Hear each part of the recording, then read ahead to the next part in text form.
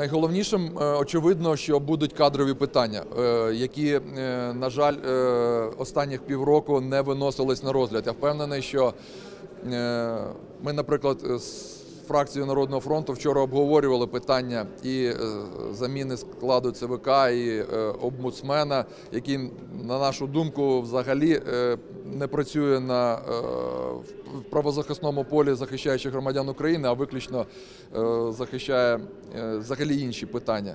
І тому всі ці кадрові питання ми будемо очікувати в сесійній залі вже в лютому. І очікуємо, що президент підготує відповідні подання, які ми вже розглянемо і будемо визначати в сесійній залі.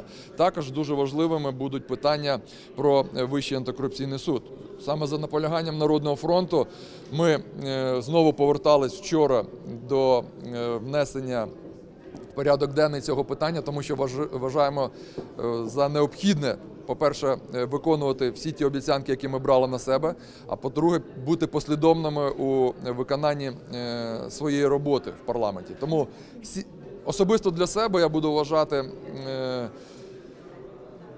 необхідним до опрацювання законопроекту про гуманітарне розмінування, який би дозволив нам залучати е, кошти міжнародних донорів, залучати компанії, які будуть займатися гуманітарним розмінуванням, що значно покращить ситуацію тих відомств, які займаються розмінуванням е, вже згідно чинного законодавства.